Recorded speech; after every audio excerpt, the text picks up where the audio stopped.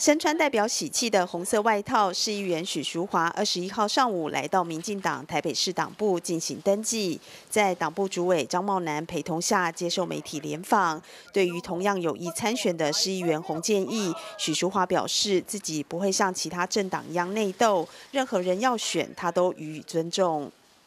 呃，因为我们两个都是一样，都是呃担任第五届的议员，那其实。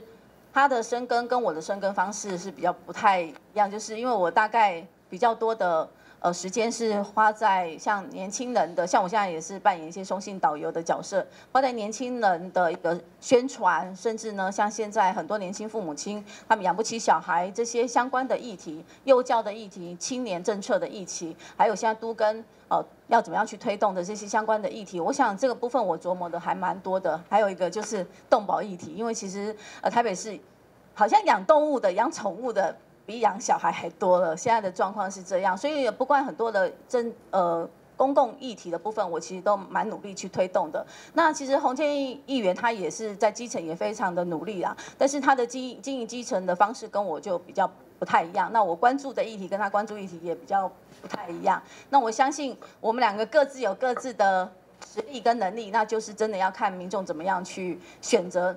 看谁是比较适合当立法委员这样子的一个呃代表性的人物，我觉得这个还是取决在人民对我们的认知。那我认为说，其实呃不管我们党内怎么选，我们党内就是公平竞争，不管怎么选，我还是期待任何一方如果选初选通过的时候，我希望我们都要全力支持初选的这个。候选人哈，被问到有无违反民进党的诚信条款，许淑华表示，自己虽然是议员，但没有离开这个选区，继续选立委也没有落跑的问题。如果你没有在基层生根的话，如果要选立法委员，好要竞选的话，其实没有那么容易。如果没有在地方好好的跟民众有一些互动的话，你光是呃你的知名度很高，也不见得选得上。所以这个也是我们在提名的时候有去稍微去地方去了解，也跟所有的党部的主委都有沟通过。那我们也知道选举没有那么容易，要一票一票投出来，所以呢才会有所谓的排除条款。两个排除条款，一个就是监困选区的部分，就是直接征召。那征召不是说我直接点名你而已，而是我们内部也会做一些民调，看哪一个候选人比较适合，有可能打赢选战的人就推他出来选。另外一个就是我我刚刚看到，就是我这个选区，虽然呢它是监困选区，但是呢又没有又又不是我们。没有本党的立法委员好在的话，那就是排除这个所谓的议员不能参选这件事情。好像我的部分，我在这个选区虽然我是议员，好，但是我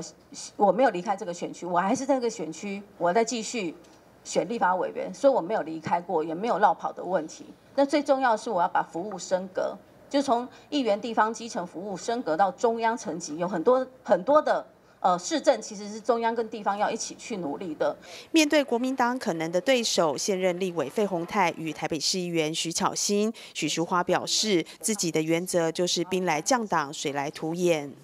其实他们两个哦，有各有各的优点。那我的只有一个原则就是。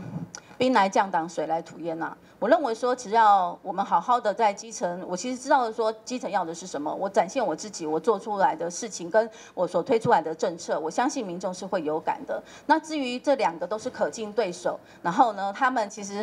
坦白讲，他们有各有各的优优点跟缺点。那在我的立场上呢，我任何人，我只跟我自己选。我希望我这次的选票呢，高过我上次二零二零所所。得到的一个选票，那我希望能这次能让选民真的看到，我真的愿意帮他们做事。许淑华表示，面对任何对手都以平常心看待，因为自己在松信区持续生根十七年，相信选民都有看见他的努力，也希望选民看见愿意帮他们做事的明代。记者林启慧台北报道。